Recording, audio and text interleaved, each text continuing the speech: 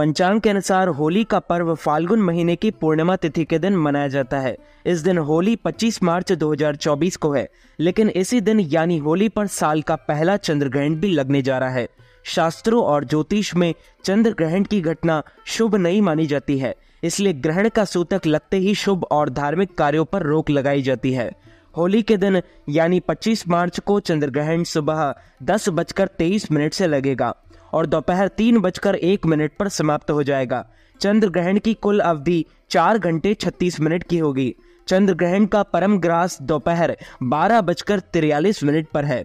वहीं ग्रहण के दिन चंद्रमा शाम छह बजकर चौवालीस मिनट पर उदय होगा।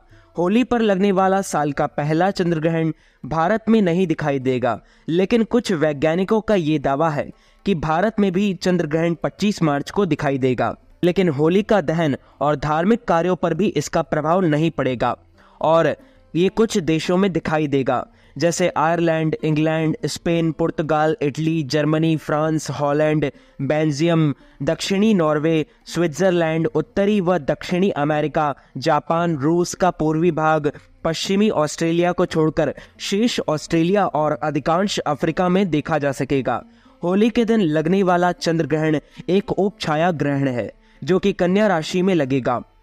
भारत में भी ग्रहण के दौरान सावधानी और सतर्कता बरतना ज़रूरी है। ग्रहण का अशुभ प्रभाव आपके जीवन में ना पड़े, इसके लिए आप मंत्रों का जाप करें। ग्रहण के दौरान जप, तप, ध्यान और भजन आदि से इसके दुष्प्रभाव दूर होते हैं। ज्योतिष के अनुसार ग्रहण काल के दौरान महामृत्युंजय मंत्र, गायत्री मंत्र और नवग्रह मंत्रों का जाप करने से शुभ फल की प्राप्ति होती है।